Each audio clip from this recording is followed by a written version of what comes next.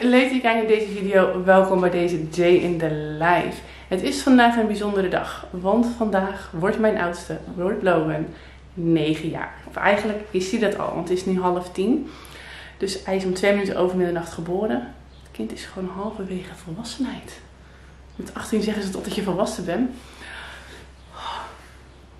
Het voelt echt nog als gisteren dat ik hem echt zo met hem zo door het ziekenhuis heen banjerde. Oh, zo sad. Uh, het is, ja, sowieso denk ik iedere gescheiden ouder dat herkent. Ze zijn er obviously vandaag niet bij. Want ze zijn bij hun vader. Uh, nou hebben wij wel afgesproken dat um, als een van de kinderen jarig is, dat de andere ouder dan daar op visite mag. Dus ik ga er ook zeker straks naartoe. Ik heb al een filmpje gezien dat hij uh, voor hem gezongen werd om hem wakker te maken. Hij heeft een cadeautje daar gekregen. En ik heb gezien dat hij is gaan tracteren. Ik heb de tractaties ook gezien. Dus het is op zich ook wel gewoon goed. Het blijft altijd wel een beetje awkward feeling dat je kind er niet is. Maar tegelijkertijd denk ik, ja, over negen jaar, dan is hij misschien überhaupt niet meer thuis. Ik bedoel, ik was ook op mijn achttiende al op mezelf. En dan hoop ik wel dat hij wat langer thuis blijft. Maar goed, je weet het niet. Dus nou ja, vandaag ga ik jullie meenemen in wat ik dus allemaal doe als ik geen kinderen heb. Inclusief de voorbereidingen voor Logan dus. Uh, want ik moet nog wel een kleinigheidje voor hem kopen. Vind ik wel leuk, wat hij niet iets kan openmaken als ik kom. Het wordt vandaag ruim 30 graden. Je kunt tell, I'm already sweating. So warm. Dus uh, ja, ik werk vandaag niet. En dat is eigenlijk nu een soort van ongoing aan het worden. Meer over vertellen. Ik had natuurlijk mijn project bij de GGD beëindigd. En toen was ik begonnen op de kliniek voor eetstoornissen. En dat beviel eigenlijk helemaal niet om een variety of reasons. Um, ik vond het werk op zich wel leuk, maar zeer confronterend. En ik had niet het gevoel dat ik kon terugvallen op het team. Het team was zeer afstandelijk en niet echt uh, supportive of zo. Die zitten er zelf misschien ook doorheen nu. Um, er zijn een aantal situaties voorgekomen waarin ik me als professional niet veilig voelde. Dus waarvan ik het gevoel had dat ik aansprakelijk gesteld kon worden omdat er informatie niet was gegeven of nou ja, dat soort zaken. Ik weet dat het uh, heel goed, dat voelt gewoon niet veilig als je het gevoel hebt dat er, omdat jij niet op de hoogte bent van bepaalde informatie, uh, er fout is gemaakt die ook verkeerd had kunnen aflopen. Uh, of een, hè, een, beslissing neemt daarin die verkeerd had kunnen aflopen. Dus daar ben ik eind juni gestopt. En ja, dan moet je als ZZP'er de afweging maken. Het duurt al het anderhalf tot twee weken voordat je een nieuwe opdracht helemaal rond hebt qua contracten, qua overleggen van uurtarieven enzovoorts. En het is er dan nog maar drie tot aan de zomervakantie. En dan ben ik drie weken vrij. Want de eerste drie weken heb ik Logan en Brooke. En trouwens Fleur de Mees ook. En Pascal kan natuurlijk niet zomaar vrij nemen. Dus we hebben even overlegd en gezegd van ja, wat is handig nu? Het anders is dat ik gewoon even thuis blijf. En hier de boel op orde maak. Ook voor de zomervakantie. Dat ik rustig de zomervakantie in kan gaan met vier kinderen. En dan daarna weer verder kijken. Het risico is wel dat als je uh, drie weken vier kinderen hebt gehad, dat je er naartoe bent aan meer vakantie. En dan heb ik natuurlijk wel drie weken uh, die kinderen niet. En dan zou ik juist heel veel kunnen werken. Dus het zou handig zijn als je dan een opdracht hebt staan. Maar op dit moment zie ik ook niks voorbij komen waarvan ik denk, dat wil ik. Dan heb ik wel weer in de wandelgangen gehoord dat de GGD gaat beginnen. Dus uh, vanaf september. Dus misschien ga ik daar nog een balletje op gooien. We gaan het kijken. We gaan zien. Uh, op dit moment vermaak ik me eigenlijk prima met alle huishoudelijke taken. Um, help ik Pascal in met zijn administratie. Dat is eigenlijk ook uh, drie ochtenden in de week meer werk als dat we hadden bedacht. Dat is zeg maar gewoon een mini part-time baantje ondertussen. Dus nou, uh, zo vermaak ik mijn eigen dus. Dat is even de update van waarom ik wel wat hard work. Super warm. Ik, really warm. Maar mijn lounge staat eindelijk, is gewoon, staat klaar. Het is nu bijna half drie, dus ik hoef pas om nu of half vijf, kwart voor vijf of zo. Naar Logan toe, dus ik heb nog wel eventjes. Ondanks dat er wat groen is, denk ik dat ik er heel even in ga. Want, I'm so warm. Maar goed, kijk eens hoe mooi het staat.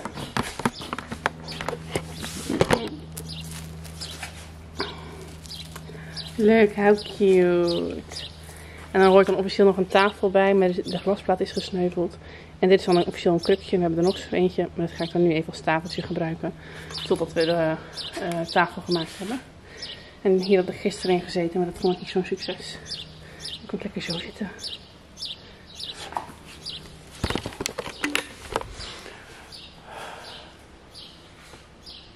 Maar dan ik eerst even die ijsjes ga proberen. Want. Oeh, it's hotter. It's so hot. Maar dan ik eerst even die ijsjes ga proberen. Want even afkoelen. Voordat ik in het zonnetje ga zitten. Inderdaad, uh, gewoon zomaar vrij ben. Dat gebeurt normaal gesproken niet zo.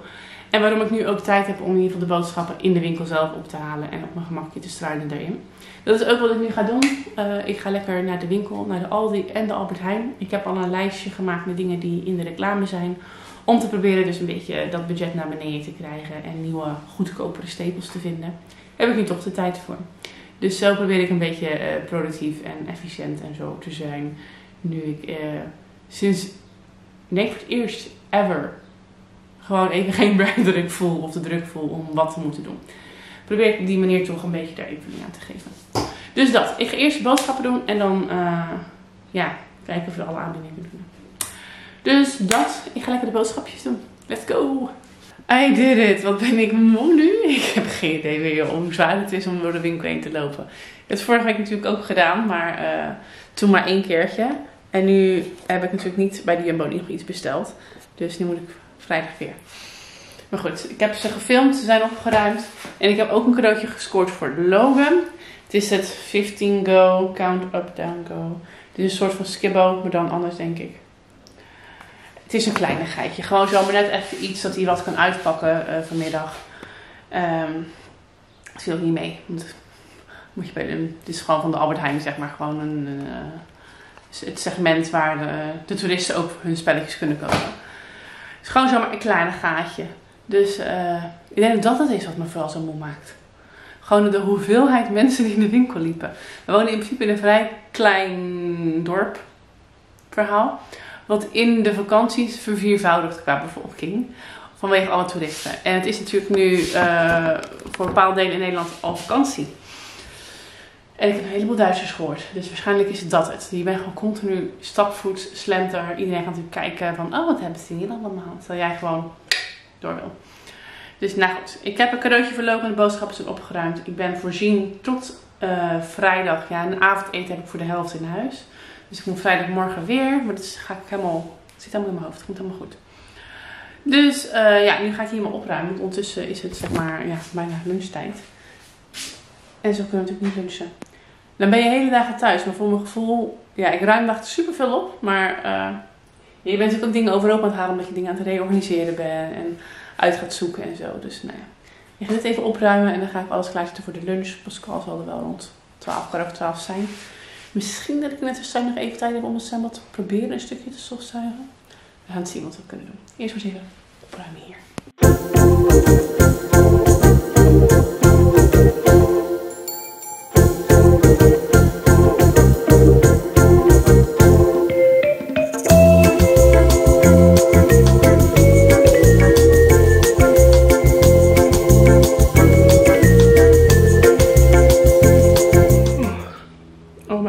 Hard work.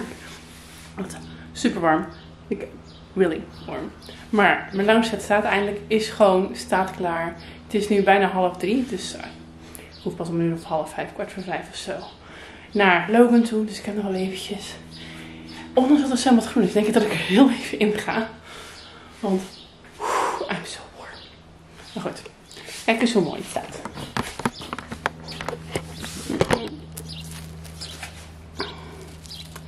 Leuk, how cute. En dan hoort dan officieel nog een tafel bij, maar de glasplaat is gesneuveld. En dit is dan een, officieel een krukje. We hebben er nog zo eentje, maar dat ga ik dan nu even als tafeltje gebruiken. Totdat we de uh, tafel gemaakt hebben. En hier had ik gisteren in gezeten, maar dat vond ik niet zo'n succes. Ik kan lekker zo zitten. Dat is 100%. Om half drie. Lekker beetje. Ik ga overigens nog een keer deze maken. Ik voel mij echt instorten. En die zitten allemaal mineraaltjes en dingetjes in. En dan drink ik weer een hele fles. Want ik denk dat ik ook gewoon heel veel vocht moet drinken. Het was het warm ver vandaag. Uh, ik heb een poosje buiten in het zonnetje gelegen en toen ben ik verplaatst naar binnen. Want het was echt niet te doen. Ik was echt gewoon helemaal niet lekker ervan. Dus ben ik helemaal omgekleed. Ready om naar Logan te gaan. Cadeautjes ingepakt. Het is ook echt al vijf uur. Dus uh, ik ga de honden even naar binnen doen. Zodat die ook even kunnen afkoelen. Ze hebben overigens vroeg water en schaduw. Maar hier zat de ventilator aan. Dus ik denk dat ze dat fijner vinden. Plus ik kan ze niet in de gaten houden als ze niet aan mijn lounge zitten. En dan ga ik even naar Logan. We're back. Ik heb daar maar niet gefilmd, want ja, we lopen ook zelf rond. Ik vond het een beetje awkward. Dus het is nu bijna half zeven. Ik ben er best wel een poosje geweest. Ik heb gevoetbald. Vond ik best tricky in mijn zeer korte jurkje, maar goed. Whatever. Logan was blij met zijn mini cadeautje, dus dat is het belangrijkste. Ik heb daar een taartje gegeten. Ik heb het gehad over het leven. Het was wel een beetje, ja. Ik blijf het altijd awkward vinden, want hij woont nog in het huis dat we samen gekocht hebben. En waarin Logan en Brock, zeg maar, uh, gebracht zijn vanuit het ziekenhuis. Hè. Hun eerste dagje, hun eerste huisje. Uh, dus dat vind ik altijd wel een beetje soort van, nou niet zozeer awkward. Maar die kinderen gaan ook altijd iets zeggen van, oh ik kan nu voor het eerst mama papa zeggen. Of ik kan nu, weet je. Of dan uh, zeggen ze van, oh ja, nee, de wc is hier. En zeg ik, dat weet ik, schatje, ik heb hem zelf uitgezocht. Dat soort dingen. Dus nou ja, dat was nu ook weer. We kregen een mini-discussie over. Ik was Brooke oorbellen. Ik was helemaal netjes klaargelegd bij mijn zonnebril. Dat was ik vergeten mee te nemen. Dus uh, kregen we een discussie tussen, tenminste, hun stiefmoeder, zeg maar. En ik ja, want je doet iedere keer die oorbellen met die vlindertjes in, maar die gaan dan helemaal vastzitten in de oren. Dus zei, nou, het ligt niet zozeer aan die vlindertjes, van jullie, die cirkeltjes die van hen zijn. Dan had ik het dus vorige keer ook mee dat één oor echt helemaal vast zat en dat, we, dat ik moest wisselen. Zeg, ze moet ze gewoon vaker schoonmaken en vaker wisselen. Wat ben jij aan het eten? Dat was allemaal niet waar. Dus, super. Had ze blij kind weer gezien. Die was super blij dat ik er was. Dus dat is het belangrijkste, toch? Uh, dus ja, dat hebben we ook weer gedaan. Ik ga nu lekker broccoli maken met uh, die kipsnietsel zeker. Dat is bedankt, kipsnietsel toch? Wat we vorige week wat ik extra gekocht. Oh ja, de En even een aardappeltje erbij. Bakken. Ik zeg dat ik bedacht bakken. Ik heb mijn pan neergezet. Ja, dan een bloemkool met gekookte aardappel. Dat vind ik wel lekker. Ik heb Pascal laten weten dat hij zo moet zijn. Dus dat komt helemaal dik voor elkaar. Lekker even eten. We zijn volgens mij ook wel eens binnen zijn.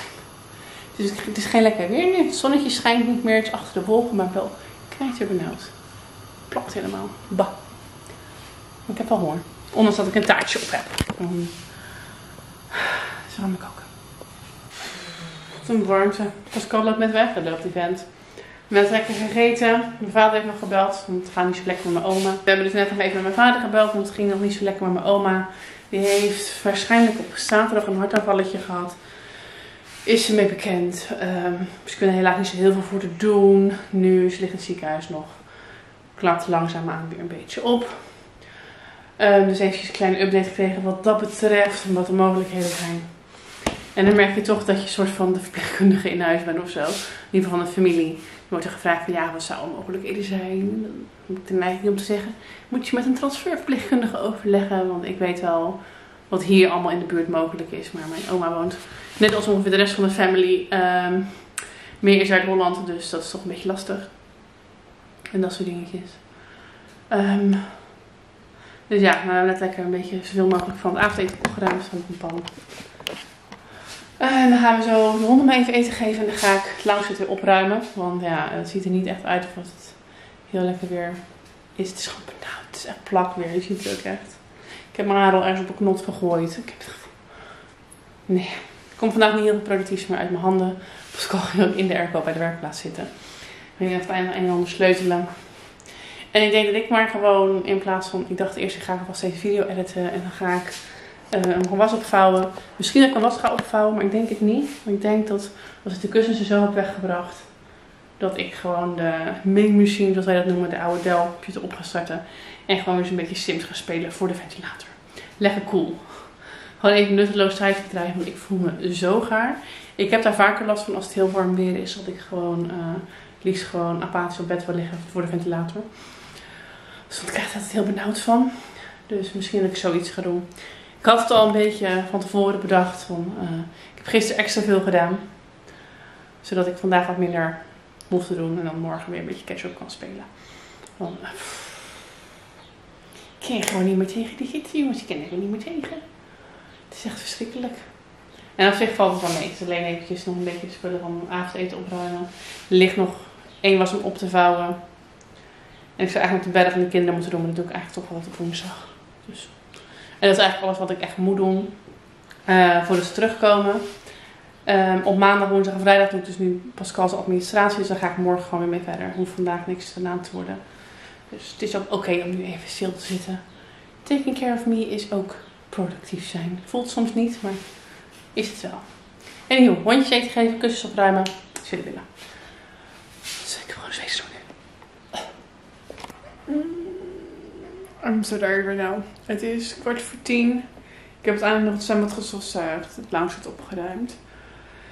En de verjaardagsspullen voor Logan besteld. Taartje en vlaggetjes en ballonnen en grote negen en zo.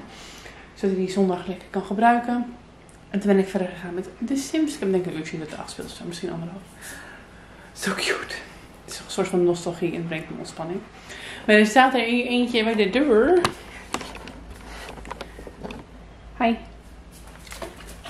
Wat die doet, pas op met je pipiebanden om. Ja. Nu tijd om te gaan wandelen hè, voor jou. Ja. Dus ik ga eerst met hem wandelen. En dan met het mopje wat daar nog ligt. En dan gaan we lekker de boel opruimen. En een tukje doen hè. Douchen. Gevaarlijke waakhond hè. Gevaarlijke waakhond. Ja. Oké, dus ik heb ondertussen een short eronder gedaan. Dan kan ik even de dreep lopen met hem. Are you excited? Are you excited? Are you excited?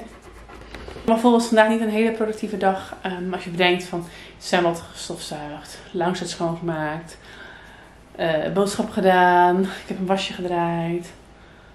Dat soort dingetjes. Ik ben, ben wel bezig geweest. En voor jezelf zorgen is ook productief, toch?